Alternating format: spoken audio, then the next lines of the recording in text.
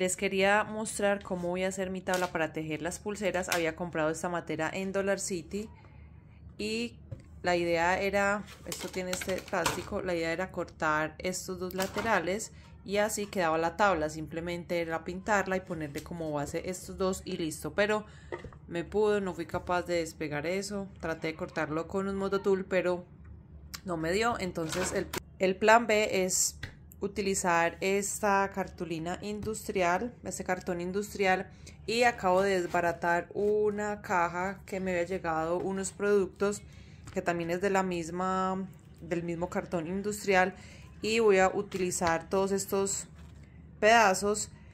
Y lo chévere es que tres de estos o cuatro hacen el grosor de esa materita que yo tenía acá. Entonces los voy a armar y los voy a cortar con bisturí a la medida. Sería una tabla de 10 por 20 y esta sería de 10 por 10 aquí ya marqué sería de 10 por 20 con un bisturí. Yo tengo este voy a cortar y voy a poner de base esta tabla para no dañar la parte de abajo. Bueno aquí ya corté todos los pedacitos. Recuerden que este es de 10 por 20 corté 3 de estos que es la base y corté 8 pedacitos de 10 por 14 para poner en la parte de aquí y, y los estoy pegando con pegamento blanco. Lo que hago es poner pegamento blanco así lo esparzo y ya pongo encima los otros y los voy pegando y con un ganchito para que se peguen súper bien bueno aquí ya me adelanté otro paso y ya tengo las tres partes pintadas y ya están pegadas entonces miren esta es la base miren cómo quedó esta la hice de tres cartones después de que las pegué. Y estas quedaron de cuatro. Voy a pintar entonces aquí y aquí.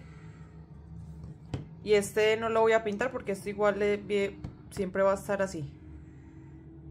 Lo pinté con esta pintura que venden en Dollar City. Y con esta esponjita. Ya los pinté, los estoy pegando, le eché colbón acá y acá y simplemente contra una pared pego aquí este y pego este acá